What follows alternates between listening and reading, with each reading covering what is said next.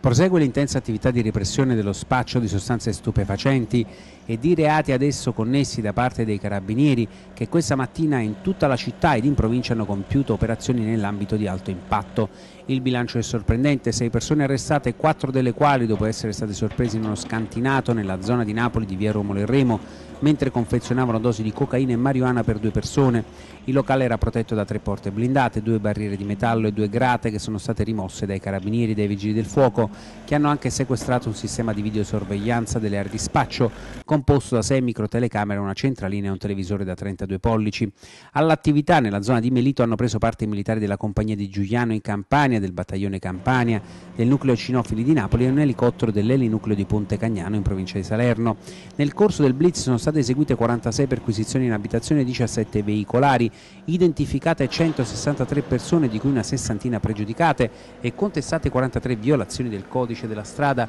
comminate multe per circa 30.000 euro, sequestrati anche 10 kg di sigarette di contrabbando, demoliti un canile in lamiera e una cappella votiva eretta in onore della Madonna dell'Arco, entrambi abusivi.